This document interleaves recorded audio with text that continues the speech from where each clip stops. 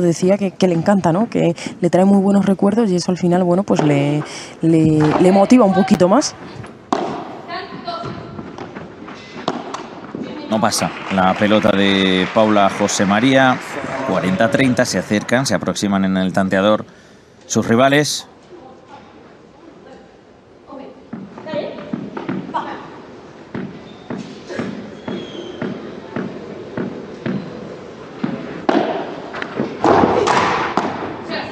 Tira la dejada ahora Paula, pero va a llegar Bea, rapidísima de piernas. Sin embargo, su envío algo forzado se marcha contra el cristal de fondo.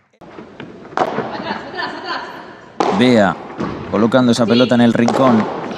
Ahí lo va a definir Delphi en la línea del cuerpo.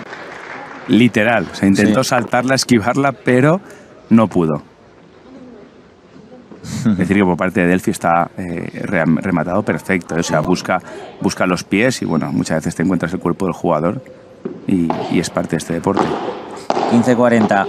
Intentan recortar distancias, lo quiere hacer Bea con la pegada, no, con el amago, lo gana con la trampa, lo gana con la finta Delphi y Bea 30. Pues yo si ahora fuera Paula y Ari intentaría hacer un pequeño parón de unos segundos, ¿no? Dos puntos muy rápido para ellas y intentas a lo mejor hablar y, y decir, oye, vamos por aquí, por allí. Ellas han decidido ir rápido y mira, ir rápido y la han tenido suerte. Pues con algo de fortuna cierran la consolidación, o sea, el break, eh, Paula José María y Ariana Sánchez. Y quizás veamos ahora otro juego de los que a la mínima se atrevan a pegar Paula y Ari, ¿no? identificando ese momento de, bajón, podríamos decir, de Delphi y de Bea. Eh, una Bea que creo que, que no debe de encontrarse en perfectas condiciones, ¿no? Ahora mismo igual el brazo le está molestando algo porque cuando se ha, parado un poquito y ha atado, se ha atado el cordón, no se lee, la cara que le he visto está preocupada. Yo creo que se nota preocupada por la molestia que puede tener en el brazo y no acaba de estar muy cómoda. Y por cierto, un dato que bueno eh, lo, recordamos ayer es que como pareja eh, estuvieron juntas a finales de 2019, jugaron dos finales, la del Challenger de San Javier y la del Challenger de París, las ganaron en esta segunda etapa. Patri, Darío, qué bonitas en el padre la combinación zurdo-diestro. Porque fíjate, Paula y Ari, en la estadística que llevan, Arturo y Agus, la estadística que llevan. Eh, hemos tenido en su día a Lima Vela. Cómo, ¿no? cómo se nota ese punto a favor de cuando hay un zurdo y un diestro y encima están bien trabajados. Creo que es la combinación perfecta en este deporte. Vemos una Delfín, me parece a mí que con ganas de, tirar del carro, ¿verdad, Darío? De, ayudar a, a Bea lo máximo posible. Saca Paula. Levanta el globo Bea. Se juega la pegada, ¿no? Vuelve a amagar. Toca a duras penas Delfina Brea, pero suficiente para seguir manejando el punto. Se marcha el globo de Bea González. Se lleva las manos a la cabeza. Todavía están en partido. Y me imagino que por ahí habrán ido los tiros en los banquillos, animando Jorge Martínez a las suyas para eh, que confíen en la posibilidad de remontar. Patri.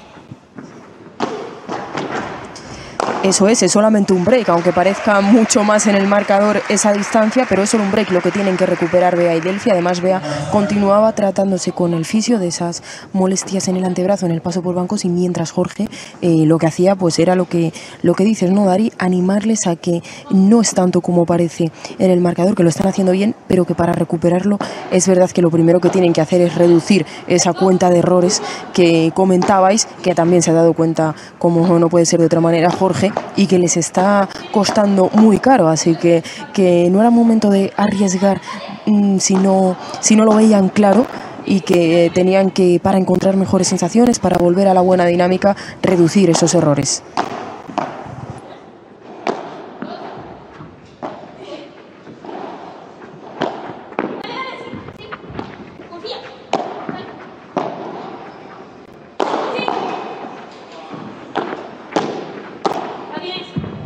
¡Qué defensa! Mira, Delfina Brea también por debajo de las piernas en el rincón. Ahora levantando el globo para que Ariana Sánchez toque la bandeja.